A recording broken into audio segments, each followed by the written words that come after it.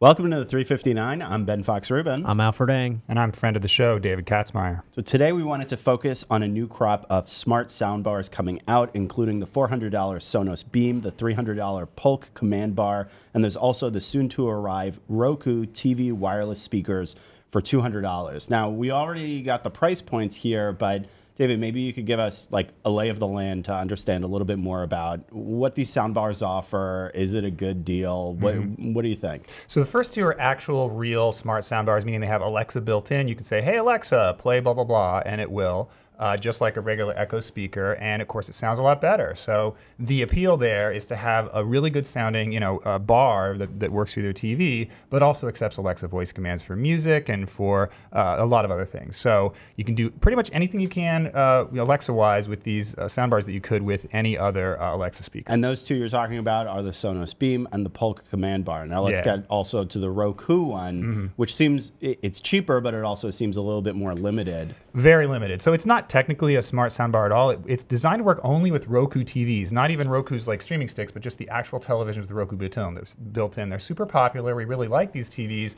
and of course, like all TVs, they have crappy sound. So it's great that you can add these speakers to them. It's a simple solution. They're wireless. They're stereo. Most soundbars are, are a, a bar. These you can actually get some stereo separation from. But since they only work with Roku TVs and they're 200 bucks, they're very limited. I think Roku really missed a trick by not just putting a standard optical input on these things to make them competitive with other soundbars and work with any TV. So do these soundbars um, work like the Fire TV Cube does, where you can also change channels and like adjust like stuff on your TV with it, or is it a little bit different? Yeah, so the soundbars, the, the Sonos Beam and the uh, Polk Command Bar are designed mainly to be soundbars. So they're not going to control your other stuff like the Amazon Fire TV Cube, which is another device that's Alexa powered that it works with home entertainment stuff.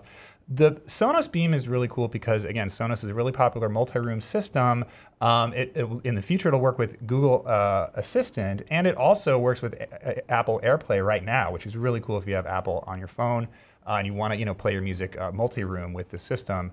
The Polk Command Bar, though, sounds better. It's cheaper, so it's our pick for people that you know aren't into the Apple or Sonos universe and still want good sound and Alexa. So this Google Home Assistant integration that you're talking about, that's just gonna come in an update, right? Like I don't have to buy the Google Home Assistant version. Nope. The the Sonos, all Sonos products, starting with the Sonos One and now the Sonos Beam, will get Google Assistant. They say sometime this year, which is a unique feature. I mean, you, if you don't like Alexa and you're in Google's multiverse, you can wait around for this update, which will add, you know, Hey Google functionality to these speakers. The other limitation about the Roku speakers that I also wanted to get to was the fact that it, it doesn't have Alexa built in directly into the speakers itself. Uh, From what I understand, the voice commands you do from uh, a mic in the remote, right? Yeah. Is, to a certain extent, is that preferable because you get less false positives, or so you actually get the voice commands directly in the mic? Yeah, I mean, uh, they'll spin it, you know, that way, but really that feature's been around for years on other devices, including the $20 on Prime Day Amazon Fire TV stick. You can talk into that remote to your heart's content. The far field voice recognition of not having to pick up a remote, uh, of say the word Alexa out loud is the real feature that is missing from this Roku device. The ultimate of laziness. Absolutely. You don't even have to pick up the remote don't have to or know where it anything like that. You don't even have to own one. You don't even have to, yeah. But it's interesting to hear that the Sonos one kind of doesn't actually win out quite to the Polk. So, um, you know, you save a Mm-hmm. hundred bucks. and- Yeah, it's, it's about sound quality and features. And again, Sonos is great for those, but we like the sound of the Polk better a lot because it has a, a wireless subwoofer included and it's cheaper. So it's pretty cool. nice. All right. If you want to read more about these stories, check us out on CNET. I'm Ben Fox Rubin. I'm Alfred Ng. And David Katzmaier, friend of the show. Thanks everybody for listening. Hey, so I don't know if you can hear me over this, but check us out at cnet.com backslash profile backslash Alfred dash Ng. Has some really great stories. Uh, we just put out a really cool story uh, two days ago. It's about I, I can't even remember what I write anymore. I write so many stories that it's, it's all Is this really going to be a thing now? What do you what? Are you really going to just start ghosting the entire chat like that? What are you talking that's about? just- it's Brian, evil. I'm pretty I sure didn't that's hear in your anything, head. yeah. that's I don't know that's what in you're your head. talking That's kind of weird. Yeah, Either uh-huh. way, I would like to commend friend of the show, David Katzmaier, for talking so F-O-T-S. quickly. For talking so quickly. That's Yeah, what I we- do. think- we I actually think we made time. We- yeah, we made time. we We, had were a- like four minutes Well, under. you know, Brian does my voiceovers for the for the reviews, and I always have to slow down because you know it's it's it's actually relaxing with Brian recording it, you know, because he's he's chill in there. But you know, when I when I get amped up and I've had Yeah. a couple of those peppermint candies in the in the cafeteria, I'm just like, dude, it's it's a four minute podcast. Yeah, do you still We- have those Girl Scout cookies? dude, that's like from That's- January. it's Yeah, I know, but still, do you still have them? yes, might- and they're I- still perfectly preserved. Thank you, technology. I, I just remembered. I have some s'mores ones. Uh, if you if you have a hankering, You're, you you, you didn't already finish off the s'mores. I, I completely forgot. you I housed left those them in like desk. two hours last The time. ones that I had home, I finished almost immediately, and then I forgot about the ones at my desk. So I'm gonna go. Nice. Bonus devour them. s'mores. That was actually a they're viewer good. question. uh, Really? That about was the a Girl- viewer question. Nice. and you send me Girl Scout cookies. Oh, yes. Uh, anyway, let's get to some questions. Sure, why don't we? Uh, let's start off with a nice, generic, broad scope question from Alex Mitchell, and then we'll get into some more specifics. Because Katz, get ready. Uh, I hope you brought like a snack or something, because we're going to be here a while. Do you have those cookies, Ben? I'll run out and get them. Nice. Alex Mitchell asks, "What's the sweet spot for soundbars without Google Assistant or any assistant? Uh, any rough number? What's a price point that you think is a safe place to be shopping just for if you don't want smart capabilities in a uh, One nineteen ninety five.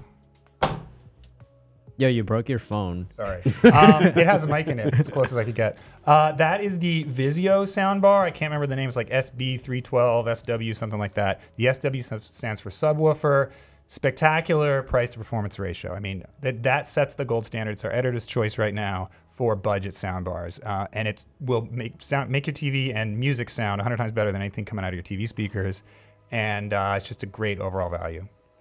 Nice. So I've been out of the loop on soundbars for a while now, just because I don't spend money on anything. But Right. what makes a soundbar better than like just actual speakers? Not actual speakers. Sorry, they're all or speakers. just using, or for me, I'm also super cheap. You mentioned this a little bit on the Yeah. show. You just use the speakers in your TV. well, I, Yeah, I like understand that. Like TV loser. speakers suck.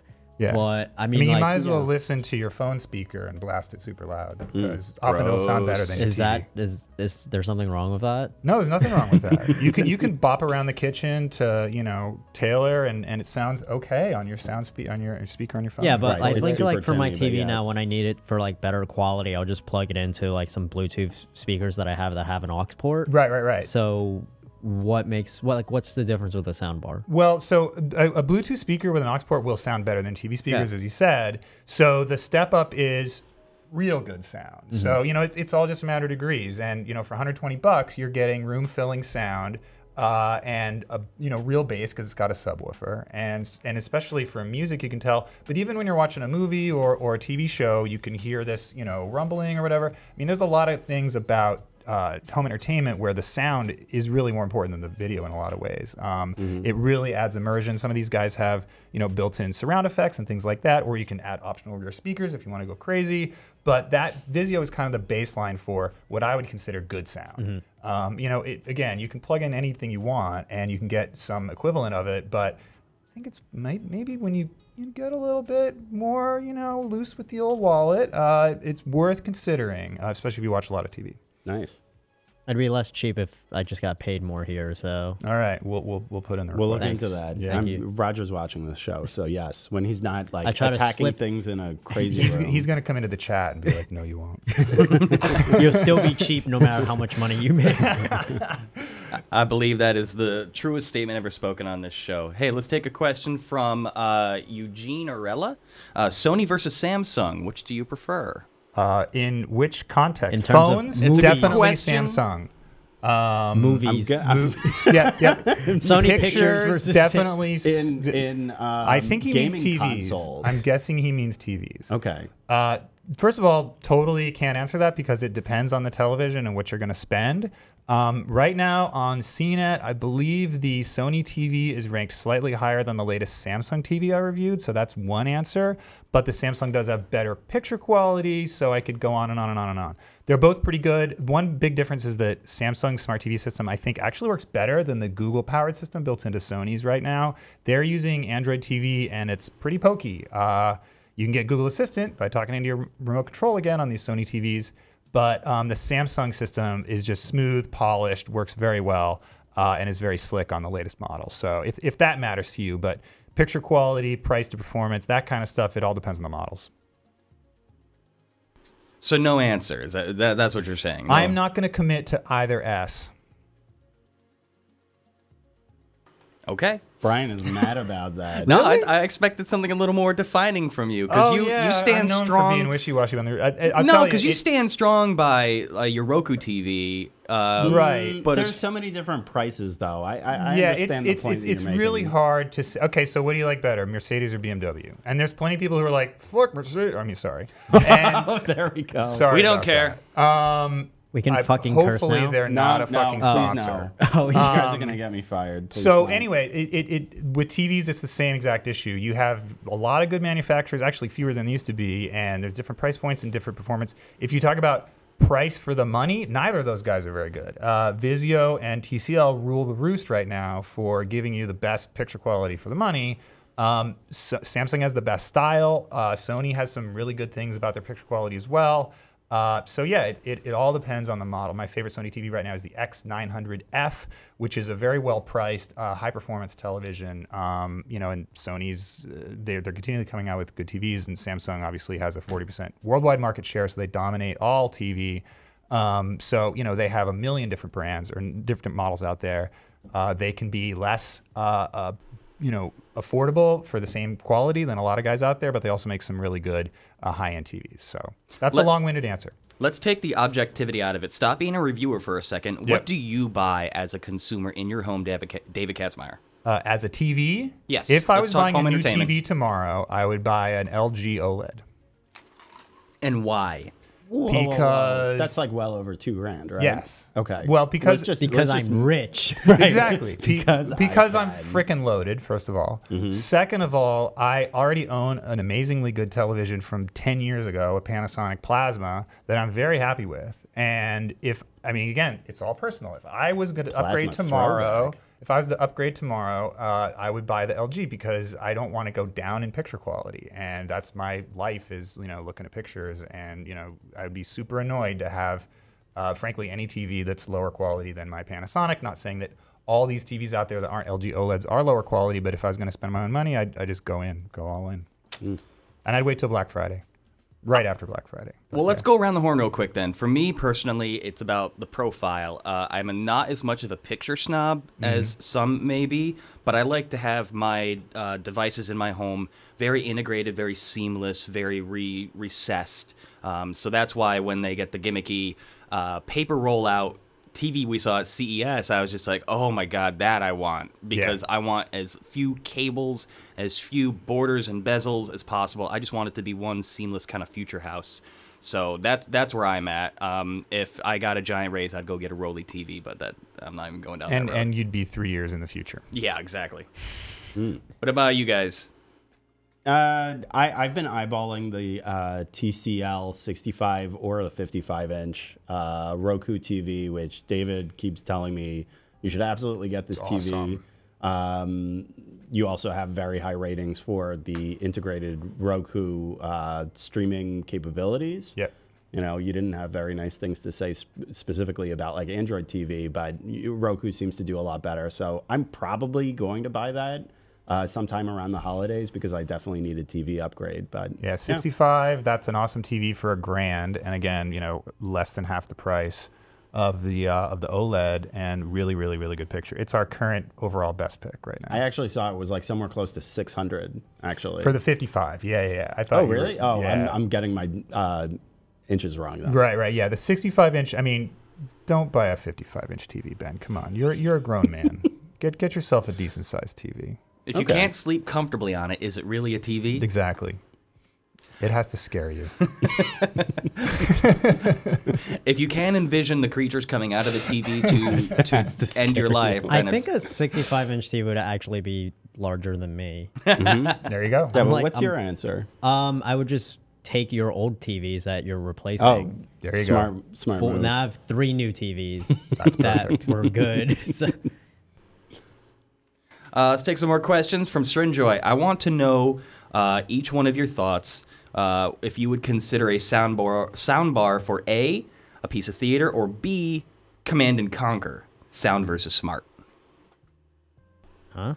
I'm not really sure what that means. Not I don't know entirely what the sure what second- that Is that a throwback video game reference? It that's what- might be. I mean, I remember Command and Conquer, but I think he might be making a joke about the command, the Polk command bar's Oh. name, Potentially. or maybe he does. That was like an autofill. Maybe Look, on his phone it says Command and Conquer automatically. Nobody watches this typing on their phones, come so, Yeah. I um I would probably be on the market for that like dumber Vizio one because Right. that's a really good price point if I was going to get a sound bar. But Yeah. again, I'm probably as cheap as Alfred, so if I have some money to spend, it's probably upgrading my TV, and then I'd eventually get to a sound bar. Some of these other ideas sound really good.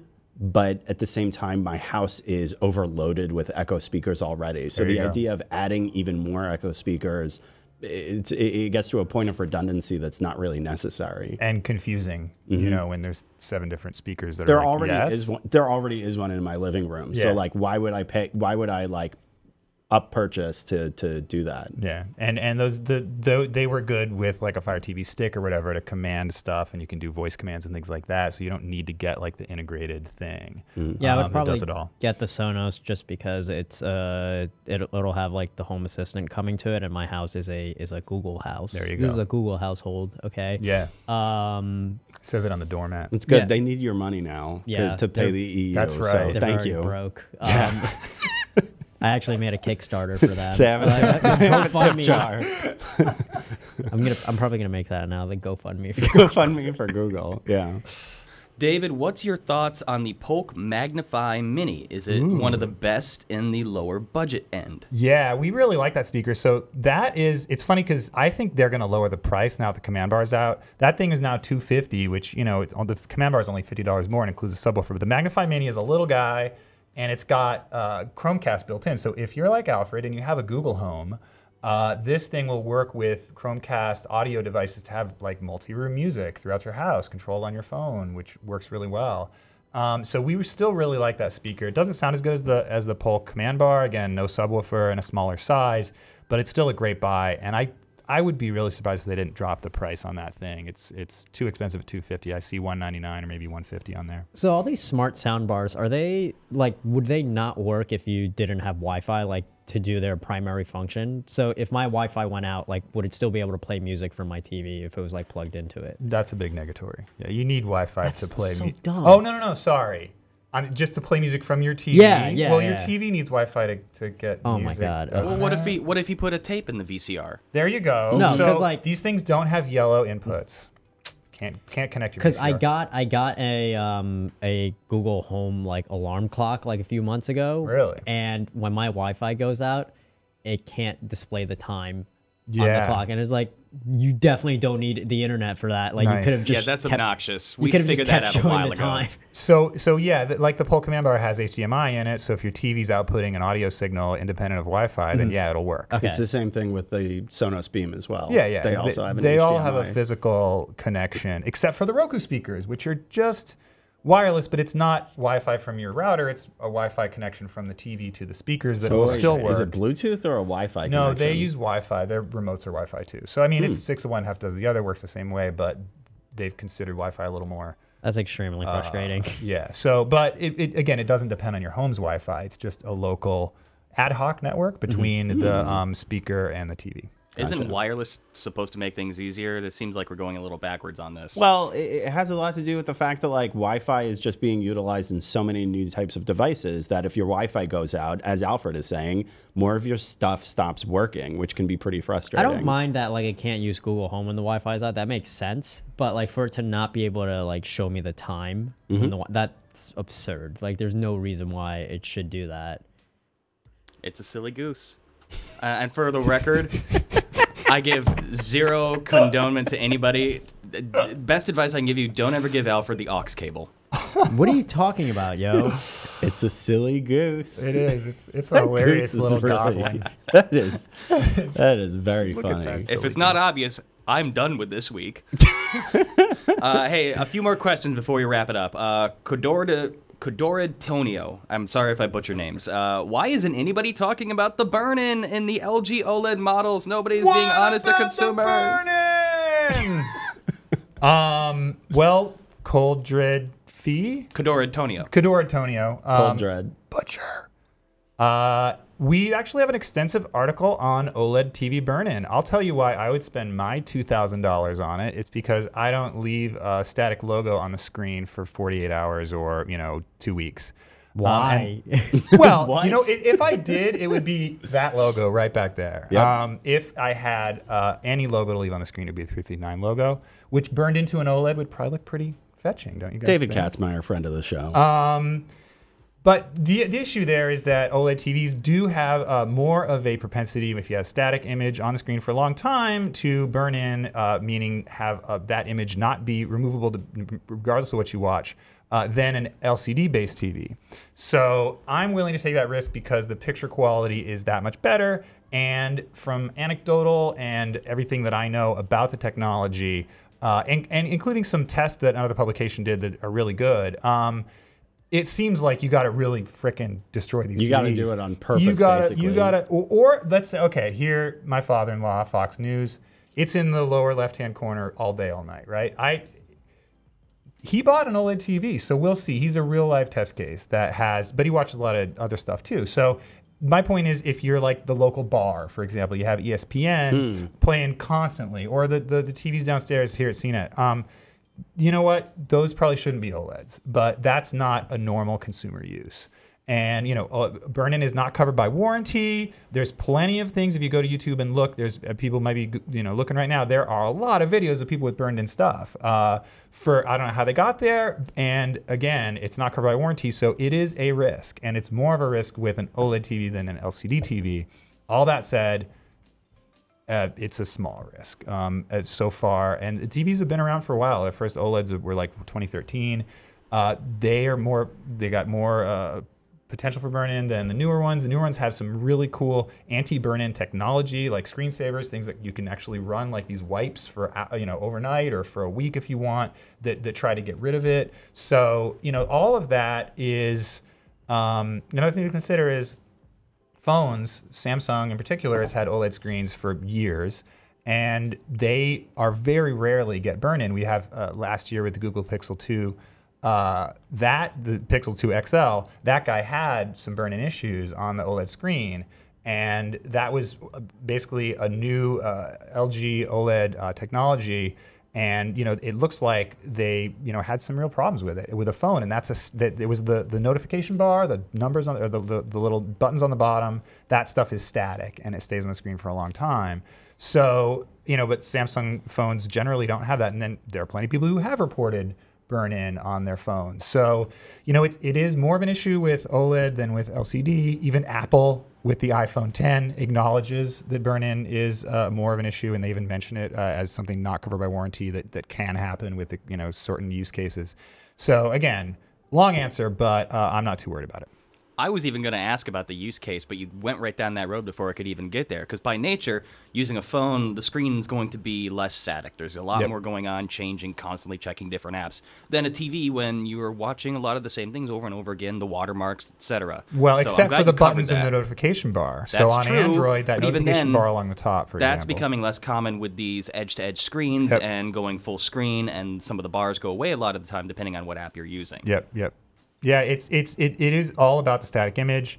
Uh, again, if I when I buy an OLED TV, uh, I'm gonna I'm, I'm gonna be just as careful as I was with my plasma, meaning I'm not gonna leave it on for weeks. But I play hella video games uh, all the time with HUDs and things like that. I watch a, a crap ton of sports um, with scores that are on for hours at a time in the same part of the screen. That stuff is not gonna hurt your TV as long as you don't leave it on again for a really long time. Uh, really, really bright can exacerbate it a little bit, but at the end of the day, it's about these static images and, and limiting them. And I think that's a normal thing that people are kind of used to with screensavers and things like that already. Almost out of time. Like I said, everybody wants to talk to Katz. I want to give a special mention to Joe Johnson in the chat, who says you look like the Three Stooges, Dumb, Dumber, and Dumbest. And I just want to say my Dumbest over feelings are severely hurt that I was left out of this. What am I, the Shemp of this organization? Not cool. Uh, Srinjoy says you covered uh, Sonos, you covered Polk. No love for Samsung. The HWMS650 and the HWMS750 soundbars are incredible. I'd say the best in the market. David. That's exactly what it is. We Uh, no don't love, them. Yeah, no we, love. Um, have you tried the Sony soundbars?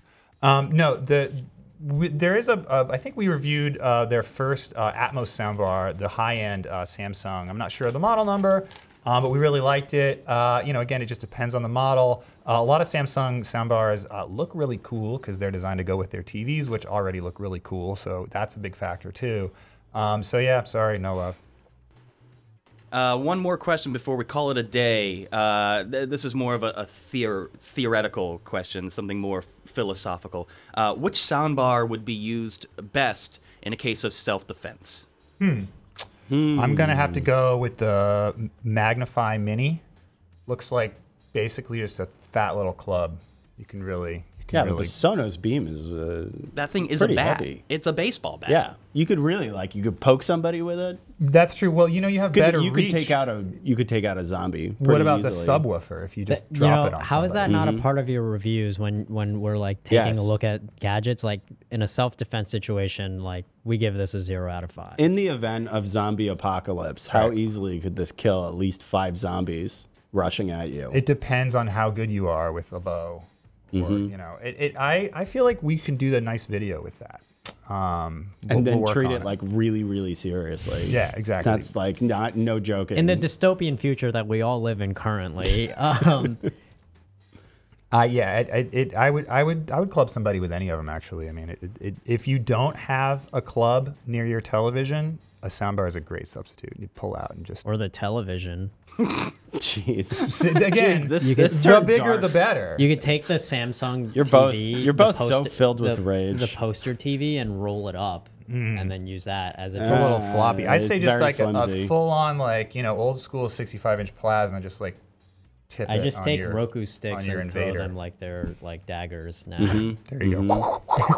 I'm pretty sure our bosses aren't gonna love the new platform of CNET's. Which device is best to bludgeon with? How come we don't have a weapons review section? I've seen some really thin laptops. Dan just showed me these. They're like blades, basically. You just like right into jugular with them. Mm-hmm. Anyway, yeah, this is this is taking a weird turn. That's the end of the week, and on that note, we are out of time. But there's so many great questions trickling in. I'm sorry we couldn't get to all of them. Let's try to do. Let's do well, one I, more. I, I'm We should make this a regular I, thing. I had something to eat. I don't even like working. Yeah, seriously. this doesn't count. But there's more from Sanjay and Ricky B and Mark Dibble and APEC had some really awesome questions coming in. Hit us up on Twitter. We'll try to address more stuff there. Um, leave more questions down below and we'll try to pocket them for future episodes. But we're out of time for the week. And uh, we'll be back on Monday with more episodes. Probably not with cats this time around, unfortunately. But We'll we have got to start cats making this like a regular thing that We'll we can have count cats on. more. Friend O show. All right, Ben, take us out. Okay. Where do I even look? Okay, the 359 is available on iTunes, TuneIn, Stitcher, FeedBurner, Google Play Music, Google Podcasts, Amazon Echo. What am I missing? Uh, CNET.com. CNET.com, everybody. Cat's friend of the show. Thank you very much for joining. This wraps up the week. We'll see you all very soon and have a lovely weekend. Bye, everybody.